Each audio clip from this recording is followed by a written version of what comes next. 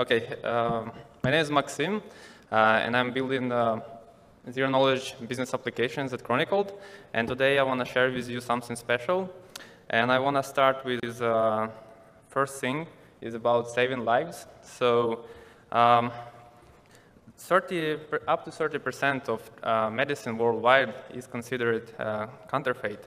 Uh, if you think about it, that's a lot of drugs.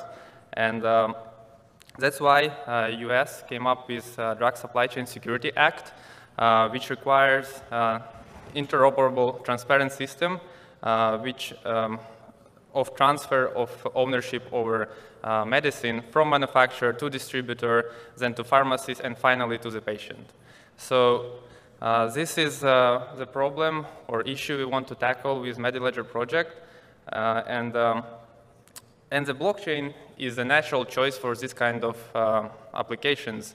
Uh, but uh, its benefit is also, um, is also the main problem, um, namely transparency of the blockchain. Because as soon as Alice, let's say Alice, Alice Pharmaceuticals tries to uh, transfer 100,000 units of aspirin to Bob, everyone on the blockchain will be able to see that.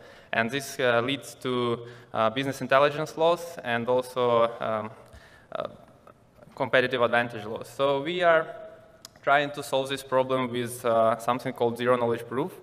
Oops, sorry. I like this one. So, and to, to explain to you what zero knowledge proof is, uh, I want to give a simple experiment. So let's, um, let's imagine we have a stick man who wants to prove to you that there is a unicorn in one of those bags. Uh, so what he can do, uh, he can place a board uh, between you and the bag so you don't see them. He can go and pick up a unicorn from one of the bags and he shows to you. So now he, you are convinced, yes, the, the unicorn is somewhere there. Uh, so uh, Stickman puts the unicorn bag, and uh, now he opens the board, and uh, now he's happy because he was able to prove to you that unicorn is there, but you don't know where it is. Uh, and because there was nothing else in the room, you are convinced. Uh, so we are using uh, a little bit tweaked version of this one to, for, for MediLedger project. Uh, so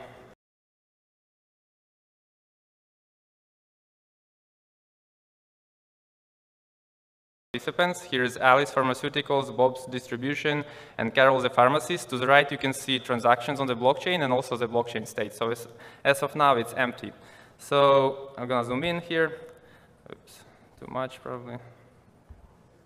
Yeah, so Alice wants to register some aspirin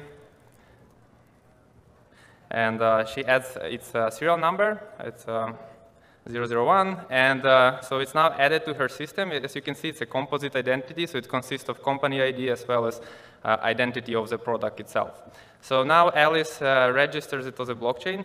So what she's doing, she's actually generated zero-knowledge proof uh, that unicorn is there. Yeah. So basically, it's that my transaction is correct, that all rules are followed.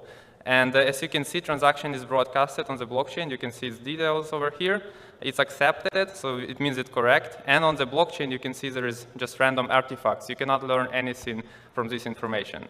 Now, Alice, um, let's zoom in a little bit. Uh, now Alice tries to actually transfer uh, ownership to the distribution, to the Bob. So she generates another proof, basically approving that uh, Bob is able to accept ownership over this uh, aspirin. Uh, so as you can see, transaction broadcasted again uh, and uh, it was accepted by the network. So finally, Bob um, delivers it to, to the Carol Pharmaceuticals, uh, pharmacist, sorry, and he, tran he transfers ownership to Carol. so he generates another knowledge proof, and as you can see, it was accepted. Now let's uh, consider use case when, uh, let's say, Bob, uh, by mistake or trying to cheat, returns, let's say, fake drug back to Alice, like, like it was uh, original drug. So he generates another zero knowledge proof and tries to broadcast this transaction. So it takes a little bit. So now, as you can see, there is uh, error. So basically, blockchain was able to recognize that transaction is not correct and therefore reject the transaction. So as you can see, this, uh, as I call it, mishmash of data uh, is in fact was sufficient for blockchain to figure out uh, who is the owner of that particular drug. Uh, so this is uh, ultimate source of truth. Okay, and uh, for, for this, for Carol, for, for Bob to be able actually to transfer it, uh, to return it to Alice, first Carol needs to transfer it to Bob. So uh, Carol generates another zero knowledge proof, it waits, transaction broadcasted, and now finally uh, Bob tries to transfer it back to Alice. So as you can see, it was successful, and uh, drag is back. Uh, so this is MediLedger, and uh, we are working with some of the most influential uh, companies in pharma space, as you can see on the screen. So another project uh, we are excited about is uh, Responsible Gold. It is concerned with uh, gold supply chain. So basically, it starts with a mine where uh, basically a mix of metals melted into one doré bar, then it's transferred to refinery, refinery makes it a gold standard, and then it moves to, to a vault. Uh, and as you can see, it's a transcontinent, uh, cross-continent supply chain, so its uh, provenance is very important here. Uh, so we are starting by applying a crypto seal to the gold product, and what's crypto seal is a tamper evidence sticker, so if you peel it off from gold bar, it's uh, just evident it feels, uh, it uh, breaks into many pieces. Uh, also, it's a cryptographic microchip which have its own self-generated key pair.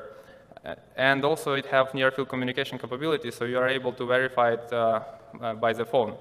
And how it works on the, on the blockchain side. So here we have, again, uh, four different participants, a miner, refinery, vault, and customer. Uh, so miner tries to register this um, Doré bar just so you can see. Uh, he registers it with a public key, uh, let's say just for simplicity. Um, so now, oops.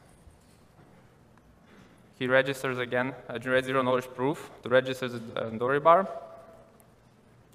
Okay, now it's registered, now he's able to uh, transfer it to refinery.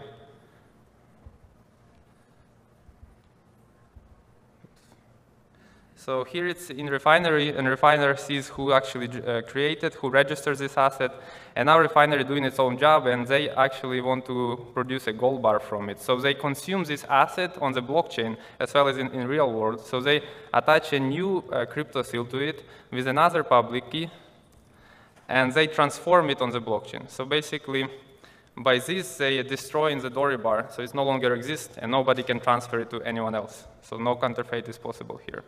And as you can see in provenance now, uh, there is um, gold bar which have been created from this particular Doré bar with this identity produced by this uh, mine, miner. Uh, finally, we can actually transfer it to the vault for storage. And uh, again, another knowledge proof, it takes a little bit of time. Uh, so now it's broadcasted. Vault can, can see uh, who, who was the miner and who was the refiner. So he have whole uh, visibility to whole provenance. And at this stage, uh, Gcoin can be minted, so it will be linked to this particular gold bar. And finally, if customer who owns the coins, the Gcoins, wants to withdraw the gold bar, he can request uh, this from the vault. So vault transfers ownership to the particular customer. Again, on the blockchain, you have no information, so no knowledge you can gain from this data. So finally, transfers transfer to the customer, and let's consider a faulty use case where a vault tries to return it to refinery, uh, but not being um, owner of this asset. So he generates another zero knowledge proof. And as you can see, blockchain rejected uh, this transaction. Um, so this is um, responsible gold, and uh, eh, what you just saw is built on top of Quorum ZSL, which is part of EA stack. My name is Maksym. Thank you.